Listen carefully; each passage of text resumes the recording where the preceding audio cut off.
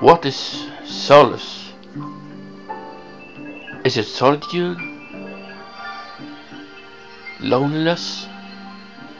Bliss? Or is it just a feeling of harmony in silence? The feeling when you know that you are one with everything. One moment's harmony. Is that solace?